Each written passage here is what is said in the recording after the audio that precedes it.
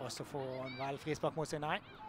Nå da? Nei, ingenting. Så dommer Vilde Hasund kommer fremover. Prøver seg på skudd. Det gjør hun. Rett på Sybert der.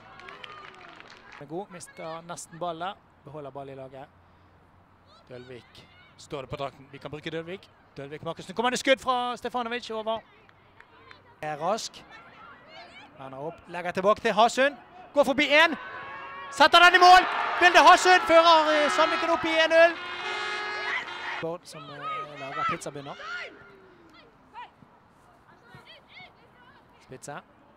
Prøver seg på et langskudd, Spitze. Og så det går over mål. Hasund mot Spitze. Oi, prøver seg på en fint. Der blir stoppet. Kommer seg forbi. Se på det momentet, da. Og bokser den ut. Ikke noe straffe. Der må vi rett og slett gullag akkurat nå, i hvert fall, Vålerenga. Det er selvfølgelig altfor tidlig å si noe om det. Og ball går inn til corner. Sibert ute. Tar ball og eh, spiller. Bra. Heddes stopper.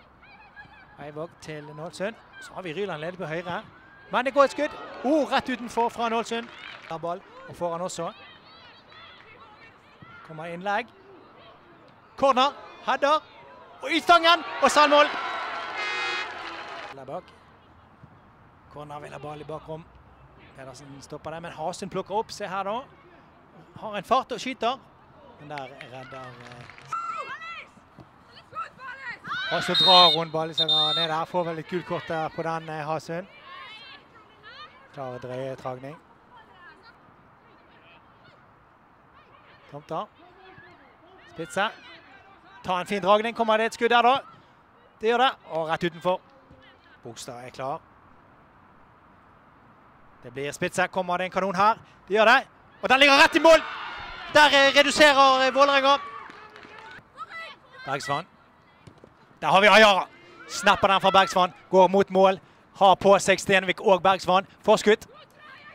Men eh, Det er lett å si Vålerengen. De har jo ikke noe enger i Bergen. Og se der, da! Kommer de til avslutning? Ja, det plukker Bogstad opp. Det kunne blitt for. Ja, Yara heler den fint til eh, Madsen, som vender opp. Spitse. spiller fint gjennom til Ja, får vi se, da får et skudd der. Og i stolpen! Er det nå? Så vinner Ingrid Ryland. Setter fart. Og så blir han løpt over enden. Og er det straffe? Er det straffe? Ballen. Lisa Nålsund mot Henna Sibbert. Ja da! Den setter hun rett i mål. Lisa Nålsund. Og så treffer de eh, Hjelmøy, som foreslår til Nålsund, vel. Og nå plutselig Jensen får blank på mål. Skyter utenfor. Vålerenga plukker opp. Heian Hansen prøver å Litt vanskelig å få vridd den inn i feltet. Men det kommer Spitze, da. Setter den i hjørnet igjen. Spitze setter den i hjørnet igjen. Sund. Brochmann prøver å spille frem til Veglo. Veglo på vei mot keeper. Spiller seg forbi keeper. Nei. Der er Sibert eh, langt ute og eh, møter lenger. Vinner Sigurd Datter.